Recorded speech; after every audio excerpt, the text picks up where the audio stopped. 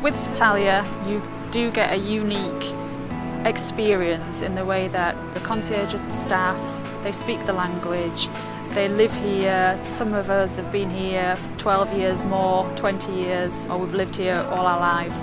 So you do get to know little hints and tips of places to go that's maybe a bit off the beaten tourist track, um, some little hidden gems, um, and when is good to visit these places, when's not. You'll know about local festivals and things that, that you just couldn't get in a normal guidebook. I'm based in the resort office for Citalia and Sovereign in Sorrento.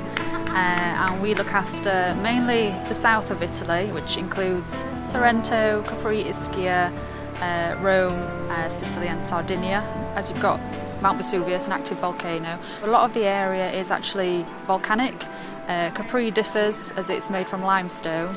Most people tend to think Capri designer shops, uh, celebrities, but there's a lot more to it. Uh, you've got Anacapri, which literally means the top of Capri, where you can get on the cable car to up Monte Solaro.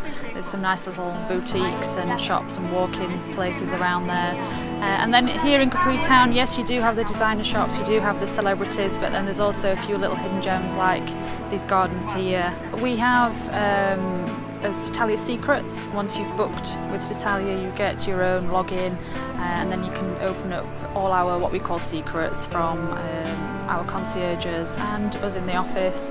Uh, all our hints and tips of the best places to go um, that other tour operators don't don't give and may not know about. When a guest takes one of your ideas and comes back to you and said, "Yeah, we tried that; it was brilliant," or "We went there, we did what you suggested, we had a fantastic time," then that's when you know your job's done and you go home happy.